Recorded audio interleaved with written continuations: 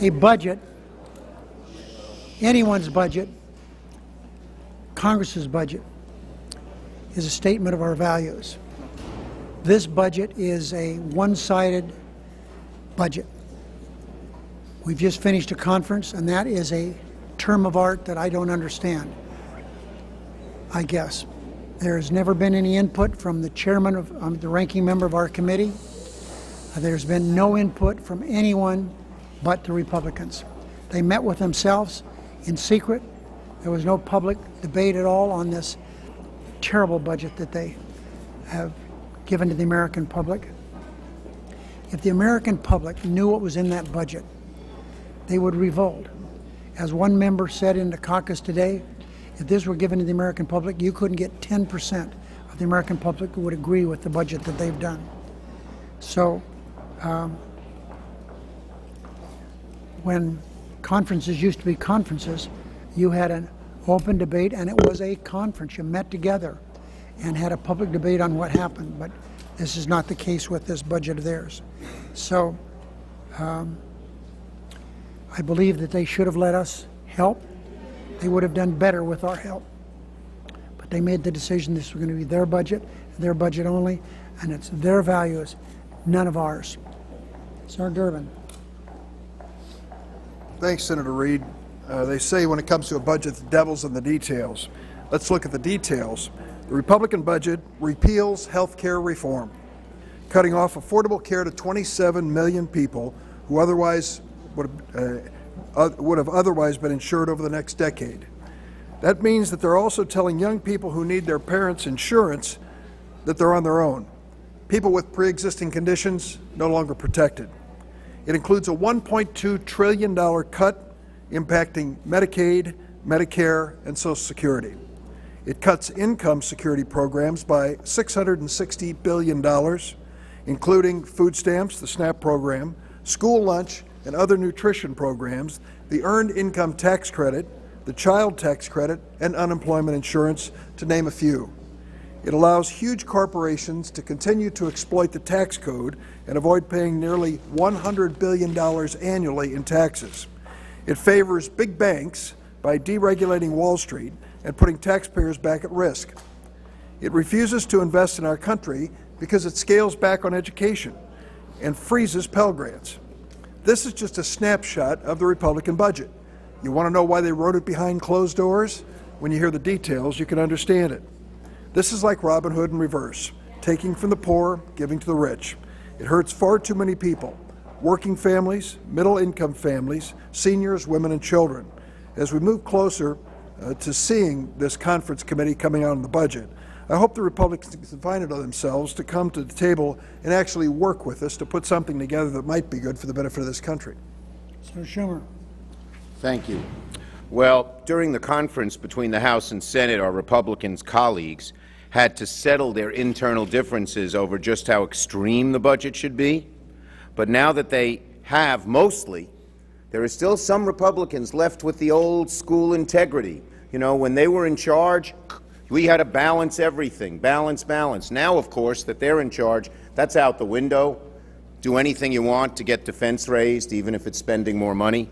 But overall, they've settled a lot of their differences, uh, even though Senator Corker and others aren't yet going along with the report because they still are st singing the old school Tim, uh, hymn. But Republicans are going to now have to figure out a way, even if they come to an agreement, how to convince the American people that slashing funding for student loan repayment, making college less affordable, is going to help the middle class. They're going to have to explain to the middle class why they're cutting public safety funding, cancer research, infrastructure, other job-creating investments.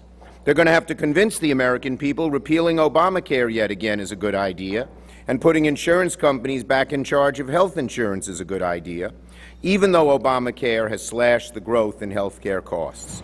It's a tough case to make, and we're putting them on notice. Republicans are going to have to do all these things on their own. Republicans should be warned right here, right now. Democrats are not going to help you pass appropriations bills that lock in senseless, automatically triggered cuts that hurt the middle class. Instead, We'll be eager to work with our Republican colleagues to prevent those cuts from taking effect and restoring both defense spending and vital middle class funding in an even way. $1 for defense, $1 for the middle class. Democrats know that for America to be great, we need both a strong middle military abroad and a strong middle class here at home. So Republicans will have a choice. They can double down on their extreme budget and underfund the middle class. If they insist on using budget gimmicks, as they have now, to fund defense and showering millionaires with more tax cuts while, hurt, while hurting working families, they'll find Democrats standing shoulder to shoulder, both ends of Pennsylvania Avenue, to stop them. But instead, if Republicans reach out to Democrats to work to prevent in a balanced way these cuts from harming our economy, they'll find an outstretched hand. We'll see what the appropriators will do. Are they going to try to enact this budget? Let them try. They won't even get most of the Republicans to vote for it. Republicans have mapped out a budget, but they should be absolutely clear their map won't lead them anywhere. Democrats are eager and willing to fund both middle class and defense programs. We urge our Republican colleagues to work with us and achieve this goal. Last year's chair of the Budget Committee, Senator Patty Murray. Middle-class families across our country want Congress to work together towards a government that works for all of our families, not just the wealthiest few. They want us to be focusing on policies that grow the economy from the middle out, not from the top down. And they certainly do not want us to go back to the bad old days of constant crises and budget brinksmanship. So it is very disappointing that instead of working with us to build on our bipartisan budget deal, instead of working with us to create jobs and boost wages and increase economic security for all of our families, it sounds like Republicans are preparing to push for another vote on just another warmed-over, trickle-down partisan budget.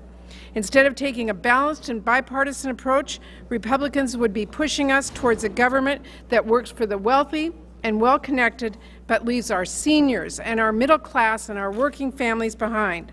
The Republican budget would lock in the automatic cuts from sequestration, cuts that most Republicans agree are not sustainable and not realistic. We know the sequester caps are terrible policy. The President has said he will veto any spending bills at the sequester levels.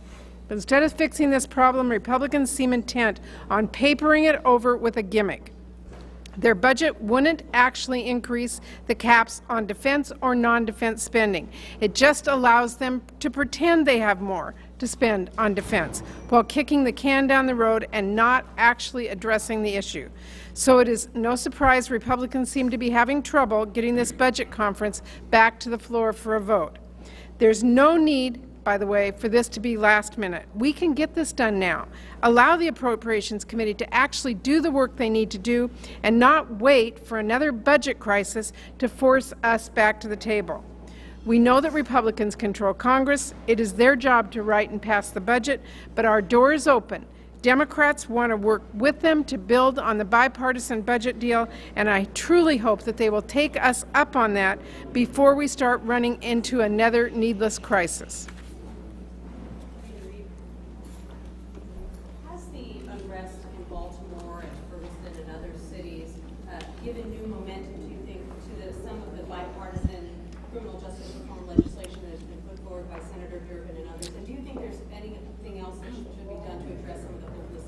I think the Justice Department improvement is going to take place, and I'm going to give a speech later uh, today on the floor about the Baltimore situation.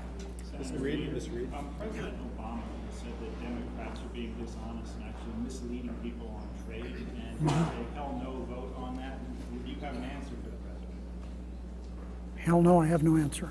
Okay. Mr. Reid, yeah. today the National Football League indicated in a letter to Paul Ryan that this year it was declining its tax exempt status, so it's no longer a tax exempt organization. Do you have a reaction? Um, that indicates the money that the National Football League is making.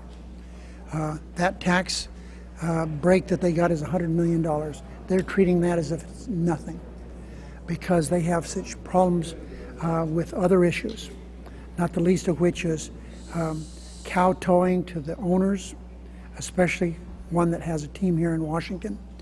Uh, State of California just last week outlawed the using of the name Redskins. There are a couple teams out there that used it. That's no longer available to them in California.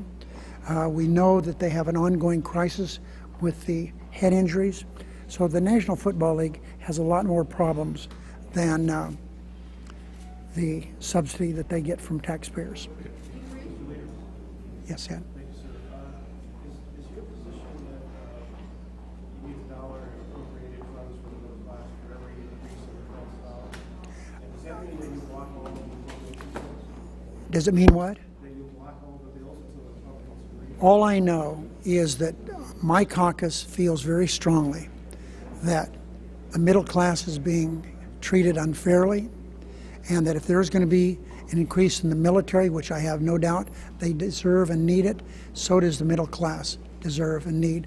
What the domestic discretionary spending is being is plummeted for a number of years now, and it has to stop plummeting. Senator Reid, Senator Reid, may may I ask a question, of Senator Schumer, please? Of course. Senator Schumer, Senator Schumer, uh, And you know, I think it's okay. He's the leader. It's okay. there- there's been, eh, Washington Post, CNN has covered the story of Charles Gladden, a 63-year-old homeless guy working in the Senate restaurant. Uh, There's a letter by some senators, including Senator Durbin, calling for a- a livable uh, wage to be paid in the restaurant. Is that something you support? Yes. And as former, as former member of the, uh, chairman of the Rules Committee, was it a mistake to privatize the Senate restaurant? Well, I'm not going to go into what happened. It happened before I was Rules Chair. But we do support a living wage uh, for all of the restaurant workers. We've made that clear to the Chairman of the Rules Committee, and we hope we can work something out to get that done. And, and I, Yes. I, I'm sorry. Go ahead, Chuck. Yes, I do think $15. I, I think if you look at the statistics of what, how these men and women are treated, it's really quite stark. 23% of the people we have um, serving us food are on uh, welfare, food stamps. Just a quick follow-up to the, uh, what happened over at Baltimore last night. What's your general reaction to what you saw as far as the riots were were concerned? What do you think to the, uh, what's your reaction to what the, uh, the action was with the, uh, with the officials? Do you think the uh, reaction was appropriate? I'm, as I indicated, I've spent a lot of time with my staff today. This is a major issue. As far as I'm concerned, I think the American people, and I'm going to give a speech that it, where we've worked on already today, sometime before we go out today on that issue. Senator Last question, yes, what? are you making progress with uh, McConnell on the amended process on the? Well, I hope so. I've asked uh, that um, Senator Corker and Cardin sit down and talk to him as soon as possible, and I know they're trying to do that. So I would hope that uh, we have a way of going forward on this. This legislation is critically important to our country and to the world, and we need to do everything we can to preserve it in the way it came out of that committee, 19 to nothing. Thanks.